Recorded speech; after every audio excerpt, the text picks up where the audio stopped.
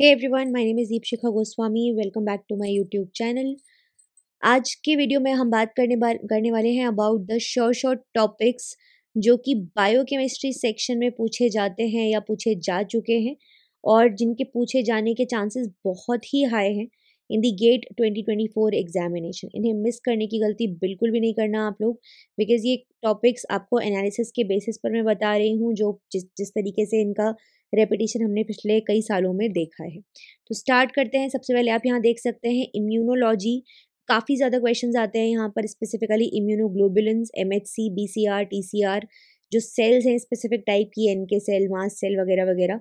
Allergy के basis पर histamine जैसे मैंने बोला मास्ट सेल एंड देन उसके अलावा जो रिकॉम्बिनेशन का प्रोसेस होता है, ये सब एरिया से पूछे गए हैं क्वेश्चन देन रेस्पिरेशन स्पेसिफिकली से काफ़ी क्वेश्चन आए हैं। ग्लाइकोलिसिस क्रैप साइकिल आपका अगर फोटोसिंथेसिस की बात करूँ मतलब मेटाबॉलिज्म का पूरा का पूरा part gluconeogenesis gluco glycolysis glycogenesis सारे जितने भी मेटाबॉलिज्म के टॉपिक्स हैं, चाहे वो कार्बोहाइड्रेट मेटाबॉलिज्म है स्पेसिफिकली कार्बोहाइड्रेट मेटाबॉलिज्म और बाकी आपके जो भी एरियाज़ हैं, जैसे कि अगर हम बात करेंगे fat metabolism amino acid metabolism तो यहाँ से कम पूछी गई हैं चीज़ें कंपैरेटिवली मेनली मेटाबॉलिज्म पे फोकस है कार्बोहाइड्रेट की और यहाँ पर भी आपके जो इनहिबिटर्स होते हैं, उन पे स्पेसिफिकली फोकस किया जाता है।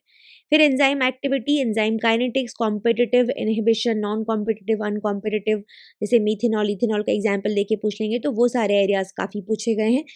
फिर उसके बाद आते हैं अमीनो एसिड्स पर, इनके स्ट्रक्चर बेस्ड काफ़ी क्वेश्चन आते हैं पी के वैल्यू से क्वेश्चन पूछे जाते हैं।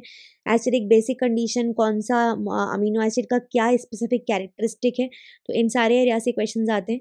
बॉन्ड्स एंड इंटरेक्शंस कौन कौन से मॉलिक्यूल्स में कौन से बॉन्ड मिलते हैं जैसे सेलोज हो गया स्टार्च हो गया आ, तो ये सारे आपको पढ़ लेने हैं ज़रूर से बिकॉज़ बहुत क्वेश्चन यहाँ से आपसे पूछे जा रहे हैं। देन बायो मॉलिक्यूल्स के बारे में बात कर लेते हैं तो carbohydrates R N A D N A T P कौन से बॉन्ड्स मिलते हैं यहाँ पर इनके क्या स्पेसिफिक फीचर्स हैं स्टीडियो केमिस्ट्री हो गई फॉर एग्ज़ाम्पल कौन इनशियोमर है कौन आपका मतलब बेसिकली जो इनके रिलेशनशिप्स होते हैं आपस में तो कौन सा किस तरीके से एक दूसरे के साथ में रिलेट करता है वो आपको पता होना चाहिए।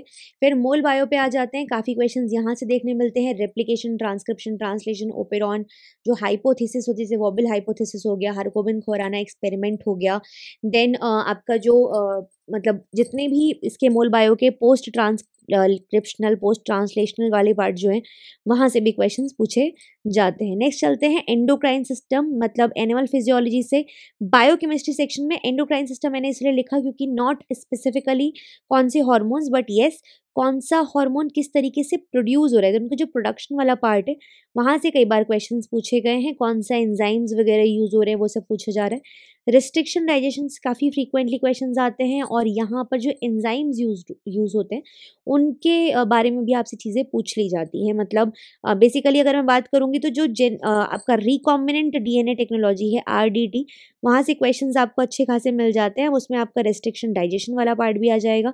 उसमें आपके प्लाज्मेट्स वगैरह के कैरेक्टरिस्टिक जो एंजाइम्स हैं रिस्ट्रिक्शन एंजाइम्स उनके कैरेक्टरिस्टिक्स उनके टाइप्स कौन सा एंजाइम क्या स्पेसिफिक काम करे, वो सब पूछ लिया जाता है।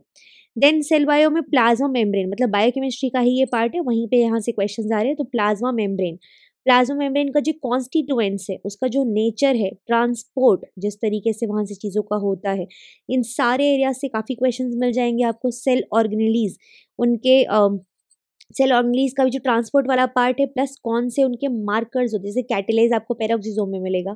तो सिमिलरली आपको ऐसे क्वेश्चंस बहुत फ्रीक्वेंटली पूछे जाते हैं कि भाई कौन सा एंजाइम कहाँ मिलता है या फिर किसका स्पेसिफिकली क्या काम है इस तरीके से। देन टेक्निक्स में बात करेंगे। अगेन बायोकेमिस्ट्री सेक्शन की ही बात कर रही हूँ। तो क्रोमेटोग्राफी पीसीआर जेल इलेक्ट्रोफोरेसिस आपका जो सेंट्रीफ्यूगेशन है इलेक्ट्रोफोरेसिस में भी आपका एस डी एस पेज वगैरह, इस सबसे काफ़ी क्वेश्चन आते हैं। सेल सिग्नलिंग अगेन काफ़ी प्रोमिनेंट एरिया है। आपके जो जीपीसीआर सिग्नलिंग है या बाकी सारे सिग्नलिंग टाइप्स हैं, वहाँ से क्वेश्चंस मिल जाते हैं। देन आपका वाइटामिन को एंजाइम्स को फैक्टर्स से काफ़ी क्वेश्चंस मिल जाते हैं। जो एंजाइम्स हैं मतलब मोल बायो में ही अगर मैं बात करूँगी तो जो एंजाइम के फ़ंक्शन है, जैसे R N A polymerase D N A polymerase उनके जो अलग अलग सब टाइप्स होते हैं क्लासिफिकेशन उनके क्या काम है स्पेसिफिकली उनसे काफ़ी क्वेश्चन आते हैं। Then haemoglobin oxygen dissociation curve and जैसे कि मैंने बोला स्टीरियो केमिस्ट्री तो ये सारे एरियाज़ काफ़ी फ्रीक्वेंटली रिपीट किए गए हैं। Apart from that pH calculation is one thing जिससे काफ़ी फ्रीक्वेंटली आपको क्वेश्चन यहाँ पर मिल जाते हैं देखने के लिए।